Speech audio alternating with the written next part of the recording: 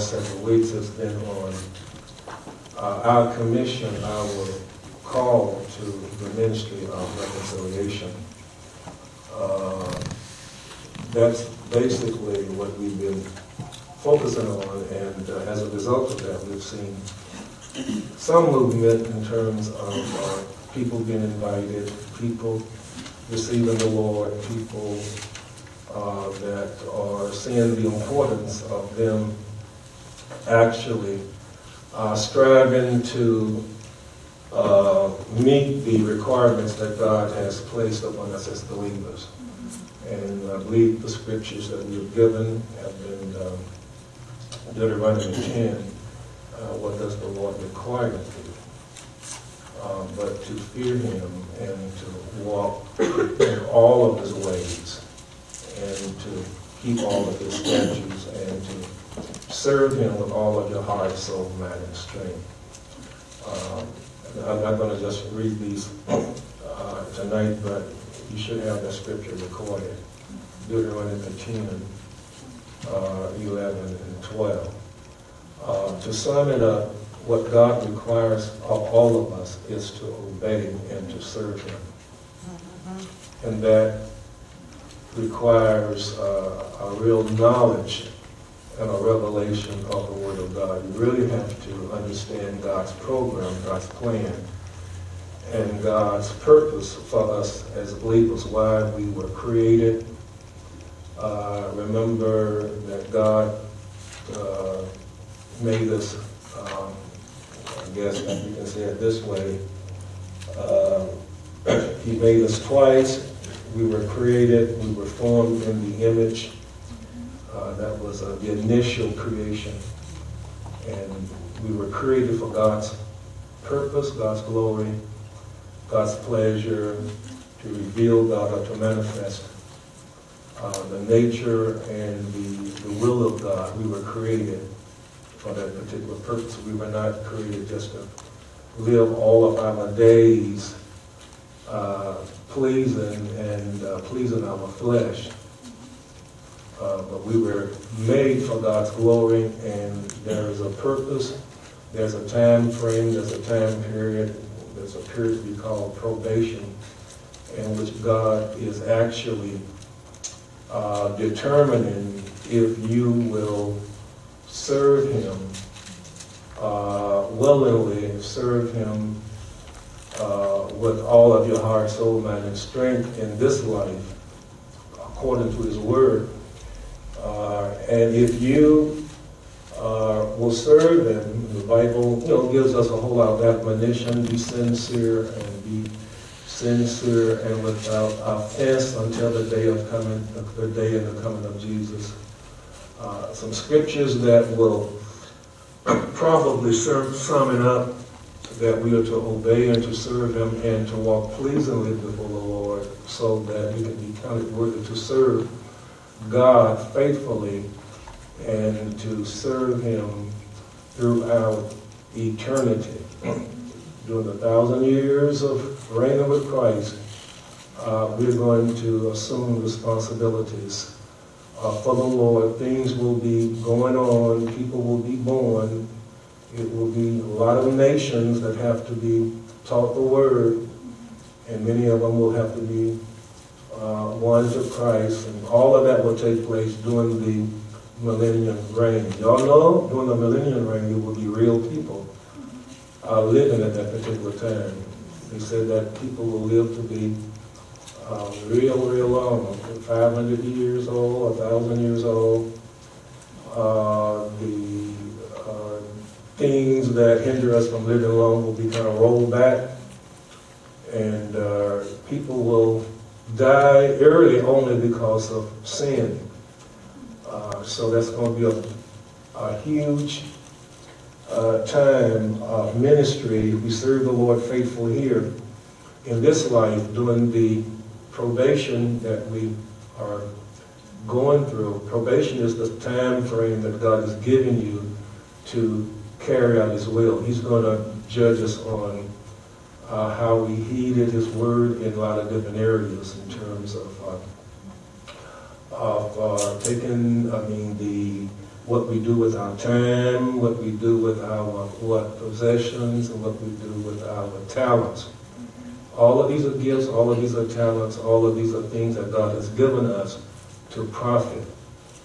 Uh, in, order, in other words, to bring Him glory, to bring Him honor, and to carry out His will and to fulfill our purpose. How many feel like you have a gift? Amen. All of us have been what given gifts. We've been given talents, and all of the opportunities that we've had in terms of our talents, our gifts, our time, and all of that. God is going, He's holding us responsible for that, and He's going to judge us according to our faithfulness. And how many remember that um, that some people will have an abundant entry into the kingdom? What does that mean? An abundant entry into the kingdom. That means during that thousand years, you will have an abundant entry. And um, going beyond the thousand years, we're going to still be serving Christ. We're still going to be assuming responsibilities. We're going to be doing things, although we'll have glorified bodies, but a lot of people will have uh, just real bodies that won't get old. Uh, real bodies. I mean, can you think of living throughout eternity uh, in a real body? Everybody's not going to be glorified. Uh, because people that's going to be living when Jesus comes back to the earth to set up his millennial reign, uh, those people are going to be judged. The Gentiles will be judged, the Jews will be judged, and everybody that passed the judgment will go into the kingdom in their human body form. And we will be in glorified body. The church will be in glorified body form Everybody understand what I'm saying? Glorified body. form. Glorified body forms mean that a body that's not made with, um, well, uh, it's uh, like Jesus when he was raised from the dead, a body that won't deteriorate, won't corrupt, won't get sick, won't get old. Uh, that's the type of body we will get when Jesus comes back for the church. Uh, Bible says the dead in Christ will rise first and the those that are alive will be changed, and all all of us going to what be caught up to meet the Lord. So your body, you will be changed from mortal to immortality. That means from a body like this to a body with just flesh and blue, flesh and bones. It will not be blood as we have here, but it will be a body that will not deteriorate, a body that will not be limited by time and space, and you know you'll be able to appear and disappear, travel at the speed of light. I'm just kind of letting y'all know that uh, um, what we are doing now as believers will determine our uh, will determine what responsibilities that we will be capable of assuming, what God will trust us with throughout eternity. So the bottom line, God wants us to be faithful. Uh, you, you know, you have time, talents, and and uh, what else I said? Time, talents, and church money. Um, you know, you, you, need to be faithful with that because you're here for, just for a time period. And uh, somebody said, you, we brought nothing in the world. We will uh, take nothing out. God has given us all of these things uh, while we are here locked in, locked into time. So that's what God will judge everything in eternity from, from what you do now. That's the reason why I teach so hard, and I, I try to help you to understand the importance of not just wasting your time. The Bible says that um, are, are redeeming the time because the days are what evil. You know, it doesn't make sense if God is going to hold us accountable and judge us according to our works. And if we don't know what those works are, we don't know what God is requiring, we don't know that God has said that we are to live uh, pleasingly, we are to walk circumspectly, we are to be sincere and without uh, offense until He comes. And He's given us grace to do that saving grace was the first grace you get. God saves you and uh, changes your nature, break the power of sin, comes into your life, make you a new creature. And then he turns around and gives you the ability, the Holy Spirit, through the Word, gives you the ability to live an overcoming life. And that's still God's grace in a different dimension, right? That means keeping grace, sanctifying grace. And that grace is made, made possible through knowledge. Is made possible through humbling yourself uh, before, you know, before the mighty hand of God. Uh, it's made possible through faith. It's made possible through obedience and loving God in sincerity. It's made possible through, I said, knowledge, grace and peace being multiplied through knowledge. So it's important for us to make the right decisions and the right choices and do the thing that really will place us in a position to have that abundant entry into the kingdom. In other words, abundant entry into the kingdom simply means that uh, when it's all said and done, when you have lived out your lifespan, your probation comes to an end, your works down here on earth are done. That means the Lord will have this to say about you. Uh, well done, that good and that what? Faithful servant. Enter thou into what? The joy of the Lord. Amen. That's what you want the master to say. But uh, from the talents and the was the other parable the talents and the one is the talents and the other one is the 19th chapter of Luke and the 25th chapter of Matthew. The one is talent. God, you know, uh, the uh, example was the the uh, the owner went into a far country. The husband, I mean, the person that owned the uh, the vineyard went into a far country, and he gave all of these gifts out, these talents, pounds. pounds, right? So those are the pounds. Those are the things that God has given us to fulfill His purpose. And when He comes back, He's going to be looking for what? Some results. That's what He's going to be looking for, somewhat results. And we can waste our time. We can spend it all, you know, uh, on the telephone, uh, watching TV, uh, just being merry and happy and acting as if there is no tomorrow. But uh, the scripture says uh, this is the conclusion of the whole matter fear God, keep his commandments.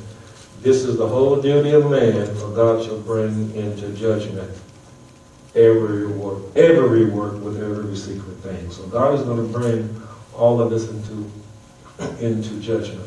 Okay, that scripture you want to read after, write down after Deuteronomy 10, 11, and 12 would be Ecclesiastes 12. I believe that scripture, Sister, you'll help me. That's 12 and 13. Uh, God will bring into judgment every work along with every secret thing. So that will be a judgment that all of us will have to. Yeah, 12, 13, 12 and 14. For God can bring every word. That's how much, 14? It's fourteen. 13 and 14. Well, thirteen, let us hear this. Yeah, 13 and 14, okay. So that shows that um, your works, uh, uh, that's a big issue. Real huge issue. And that's what we call serving, serving the Lord. And the Bible says that don't be slothful, uh, be not slothful, but fervent in spirit is serving the Lord.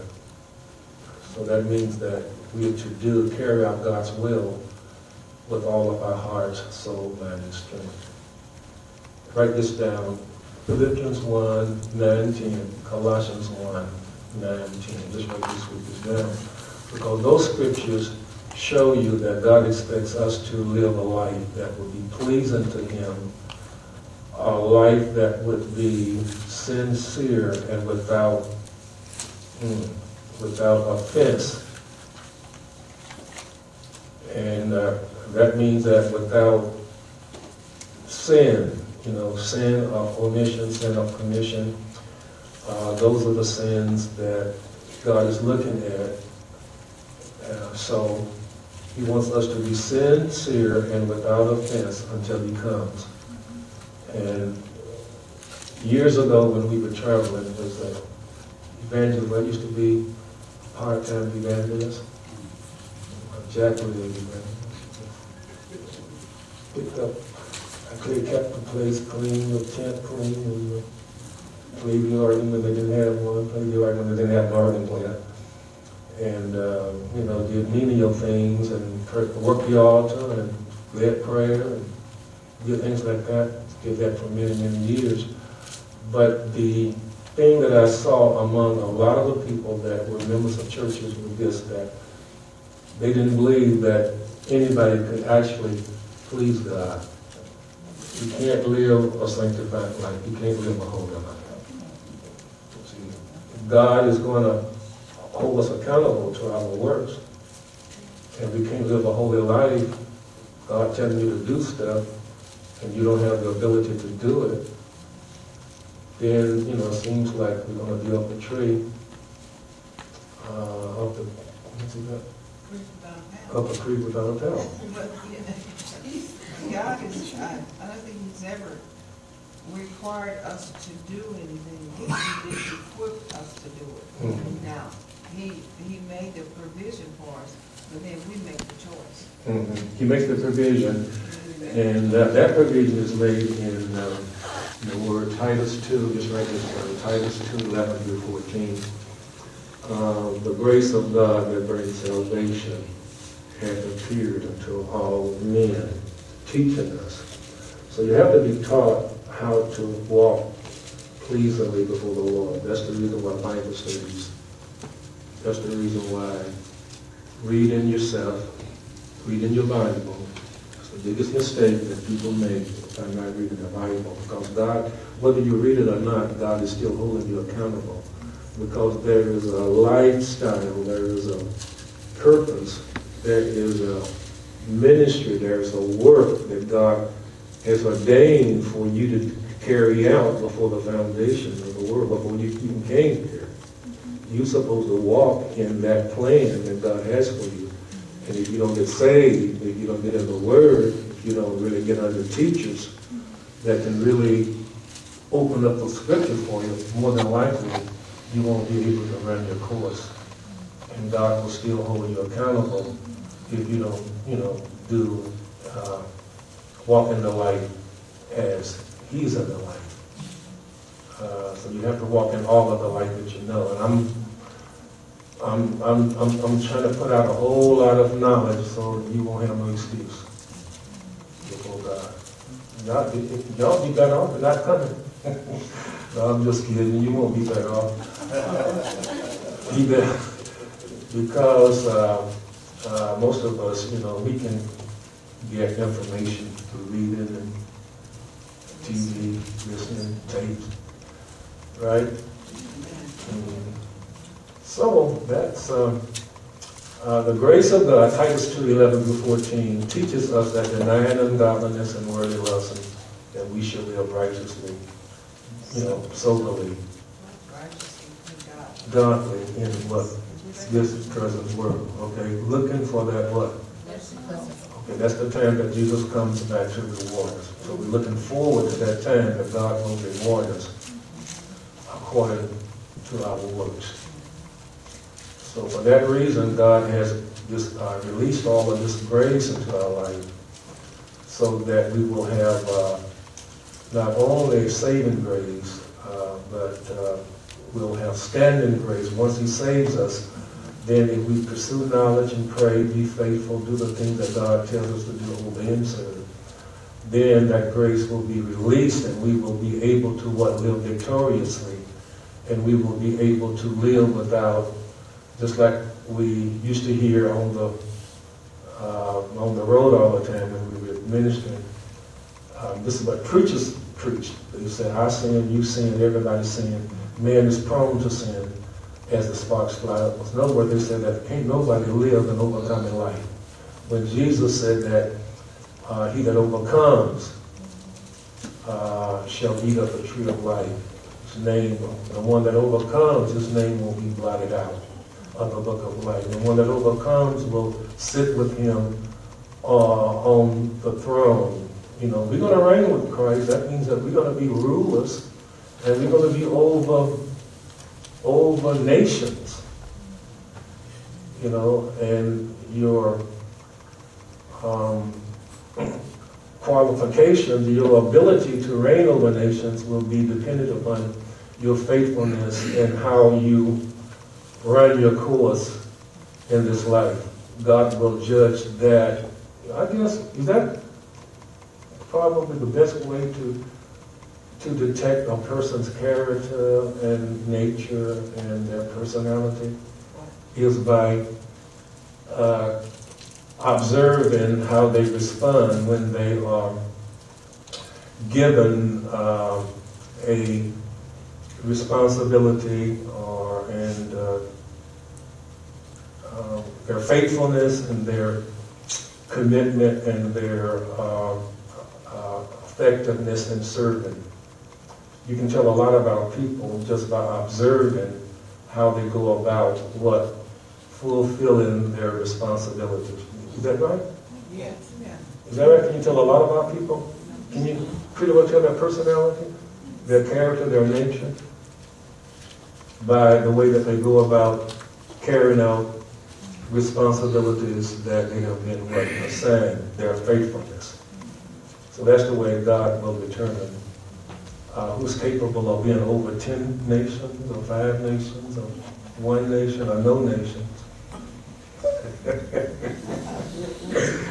Uh, he'll determine about your faithfulness and your commitment and all the, the things that uh, will be the standards of judgment in the uh, white, not white throne, but the judgment seat. Okay, he's going to judge us according to our uh, how we submit to sufferings and and the Bible says that without sufferings, you know, that you can't be perfected, you can't be established. If you don't suffer, you don't reign. Um, if you don't want to endure hardness as a good soldier, some people want everything easy. You know, they don't want to make no sacrifices. Um, so that's, you know, you don't want to, you know, fall into that error because uh, Jesus learned obedience to the things that he suffered. So if you want to be perfected, you're going to have to what kind of lay down your life, and um, you can't treat your life as being so dear, and you want to put it before everything else, and, and that's the reason why today I was teaching on uh, just like uh, our commitment, our responsibility of uh, reaching people is a huge one. You know, the our responsibility to, uh, for the souls of men, being responsible for the souls of men. And uh, can anybody tell me uh, the categories that we're to be responsible for? Uh, this was in Ecclesiastes 3, Ecclesiastes, no, Ezekiel, Ezekiel 3, Ezekiel 33. Those are two chapters that's kind of congruent on being a watchman. Um, being responsible for your brother. You're, the, you're your brother's keeper. We are um, workers together with Christ. We have been given the ministry of reconciliation. So somebody named the three categories of people that. Uh, okay, that, that's the lost. Everybody said the lost. These are people that have never really had a fair shot at the gospel. They've never been saved.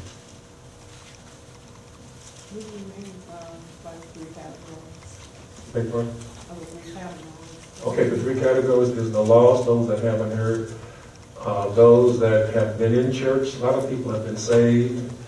They have been touched by God. They walk with the Lord. They've among us, among the body of Christ, and now they, they kind of fade out. They get kind of um, what along the way weary. They get sad, distracted, sometimes affliction, sometimes a persecution. Sometimes the cares of life, sometimes the deceitfulness of riches can be a whole, sometimes in the world, and, um, you know, things like that. People get distracted, and we've got to be concerned about them. So how do we show our concern for those that are distracted, those that have gotten off track? Um, showing love, and another one, is how we treat people, Okay? and witnesses, and like the word of God, about, um, and the fruit of, um, and the fruit of the spirit, Right, okay, well, you know, That's- example. That's good, okay, you show love. Um, A good illustration is that Sunday Sister Judy brought Katrina. Juana. I think about Katrina, I guess. Uh, But uh, Sister Holman took out time, she had to make some kind of contact, she had to talk her into it. It's a lot involved. And then she said that your sister would be here tonight. So she had to put forth some effort to do that. Okay, so that shows that our responsibility as believers, you know, is diverse. Uh, it's people that have not been exposed a lot, people that haven't heard a whole lot, people that haven't, you know, um, you you mentioned that you, you had, you know, you, you, you're kind of involved in the church. You've been, you you have a I remember. yeah, you remember, okay, okay. So Sister Holman talked her into coming. And your sister is here tonight. So that's what the Lord wants us to do. And then, um, we have people in this church that very seldom show up. So what do you do? Just let them, let them do their thing, don't bother with them. Pray for them. Pray for them, okay, just pray for them, they'll come back.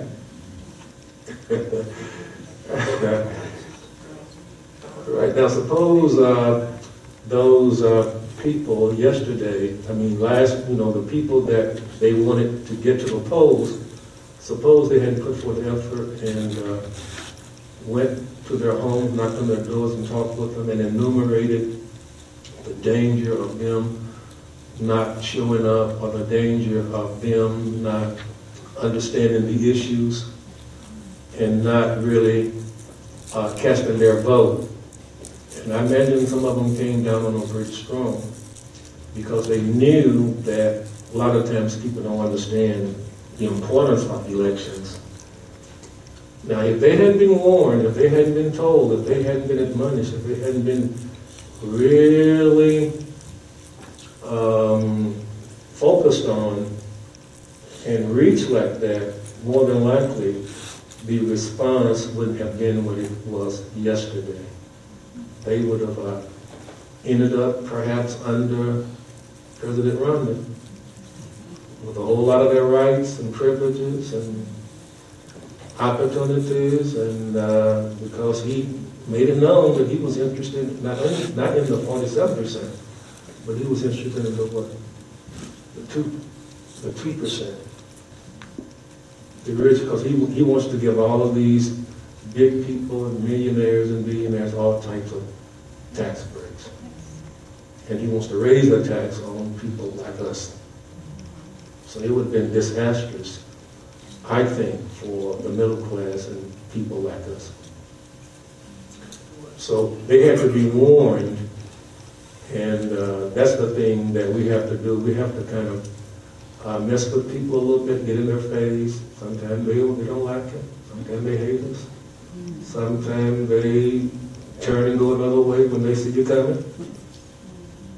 But we do that because we know, we, we, want- we want them to be what properly warned. How would you like to be in a house and the house is on fire and you don't know it? And nobody will tell you, and you end up being, you perish. How would you like to be going down like the Arkansas I-40, like years ago, some were going, and the bridge fell in the water. A whole stretch fell in the water. Derek and them had just passed over 15 minutes before. 30 minutes. Okay, a little longer than that, whatever period of time, they had traveled that same route, that same day. And uh, so, if you're not warned that the bridge is out, uh, danger ahead, if you're not warned, nobody tell you, then you just plunge right into it. Let me say something about that. Mhm. Uh, the ones that were not warned, you know, they probably had gone that back and forth, and because we've been on I forty many times, Mhm. Arkansas. The ones that weren't warned, they just plunged in. But there was someone that, after it went out, got out and put a flare up. Mhm. So the ones that, that was coming after them, Mhm. they saw the flare, so that was their warning. So those that saw the flare and a man was standing out, they heeded the warning, so they were spared. They were spared. But the others didn't have a chance to have a warning, they just. Plunged. right down. Mhm. All right, so, They, you can be warned and not heed the warning, and you can be warned and heed the warning. mhm. And if you heed the warning, then you can be spared. Many times you warn people, and like you're saying, they just ignore you, or run from you, hide, Mhm. make you promises, no follow through and all that. Well, that, their blood then is not required on your hands, uh, if you warn them. But if you see them going in the wrong direction, and you don't warn them, then, what's it do? Mhm. So we can see the importance of, of warning people, speaking to them, so that they can what save, be saved, and that is a huge, huge responsibility. Now, sometimes people don't feel like believers need to be warned or admonished to what to live for God and to stay faithful. Believers need the same warning. I mean, the most faithful people, like Sister Denise and Brother Sonny, they're always in that seat right there. I mean, they're always back there by halfway. I mean, they're the most, one of the most, I mean, the most faithful, one of the most faithful The couple. reason why sometimes believers need to be, because the scripture says in Galatians, be not weary in well doing, Mhm. or in due season we'll reap if you faint not. Okay, I think that was put in there, this is me, because uh, they knew we would get weary Mhm. and, and doing well. Doing well, not doing wrong, doing well. Mhm. So, uh, often you do get weary in doing well, so believers need to be encouraged too, you Mhm. know, in doing well, because sometimes you get lethargic and, well, you know, I'm just like, a but if you had somebody there to kind of encourage you, come on, we can do it, and whatever, it'll make a difference. Mhm. Okay, so y'all can see now why saints need the same admonition, it's like a different kind, but they need to be admonished to stay on track and to hold firm there. let me see, I, I want y'all to remember this, our, our Hebrews 3. Brother Wayne, if I don't get you tonight, I'm gonna give you a lot of time next week or Sunday, well, Sunday, I'll get you Sunday too. Um, um, we had some new people there tonight. I just really wanted them to understand where we, where we, what we are dealing with here. Because I feel that we got, because Sister Denise brought a sister here about two weeks ago. And uh, the sister was really blessed. And she had, she had lost her husband about a year or so ago. And uh, Sister Denise was kind of like her mentor. And she preached her husband's funeral. And she was able to get her to come and sit in on the service. And uh, so Denise keeps up with her, checks on her, minister to her, pray with her. And the other day, I thought I would call her, to see if Denise was on the job. she was. and she said that I'm coming back. I, you know, I really uh, enjoyed myself. And uh, as soon as the remodeling, had somebody in our house doing some things. And uh, she said that, uh, but you know, that's, that's, that's what we want to see. We want to see people really involved in the lives of people. And uh, Brother Beauty, uh, uh, one of these weeks you don't have a fishing trip, I'm going to hook you up with some of these brothers that live, Sister Elam's husband, and uh, there's a whole lot of these loose folks. They just, they just, they just, they just going up and down the road, and you know, and they're not even thinking about that one day they're gonna have to meet God. So we're gonna have to what? Try to track them down They don't, they don't like it, but I think that that's our responsibility. Sister Hills said that we got to put up the, we got to heed the warning. Put the flare up. All right, I like that. Put the flare up. So that's our job, what? Putting the flare up. If we don't put the flare up, they're just going to plunge into what? Hell and the lake of fire, which would be at least a thousand years later. Spirit, soul, and body. Hell is just spirit and, and what? Soul. Bodies in the cemetery. But after a thousand years, at least until a thousand years, if, you know if that happened now, it would be a thousand, at least a thousand years plus that your body, if you didn't make it to, if you're not in fellowship with the Lord, you would uh, be resurrected. That would be spirit, soul, and body. And we will uh, be alienated from God. That would be spirit, soul, and body in the lake of fire forever and ever. So we put the flare on. Everybody said, put the flare up. And the Bible says, knowing the terror of the Lord, we persuade me. I mean, we really have to what? Bear down. Just keep on, keep on, reminding them that what is your life is not conveyed when you're here today and tomorrow you may not be here. I mean, you have to, you know, kind of tell people stuff sometimes. And sometimes you can win them through compassion, and sometimes you have to tell uh, tell them the danger, the judgment that awaits them, or the wrath to come, or the fact that God says that uh, uh, those that persist in sin will not inherit eternal life, not the kingdom of God. Rather. Okay, uh, Hebrews 3, this is my favorite scripture. We, for we, 3.14, for when we are made partakers of Christ, if we hold the beginning of our confidence steadfast until the end. So that's that's the story. That's that's the motivation behind warning, not warning, but admonishing believers. We are made partakers of Christ if we hold what? If we hold the beginning of our confidence steadfast unto the end. Okay. Uh, Brother Beauty, I've been thinking about you, and Brother Travis uh, helping with uh, some of the new members. I'm gonna give y'all some. I'm gonna give y'all some serious stuff because I think that it's getting time where it, it's difficult for one or two people to try to keep up with everybody. So all of us need to be trained so that we can get on the, the phone and talk to people one on one, and we'll know basically what to what share with them. Uh, so uh, we want to hold the beginning of our confidence steadfast until the end. How many remember the scripture for the, for the grace is not given to the swift, neither battle to the strong, but to him that endureth to the end. See, I was raised in a holiness church, and we had a lot of, lot of scriptures. We had to memorize them, we had to learn them, we heard them, we read them. We had these mothers that read the Bible from, the, they read it real loud.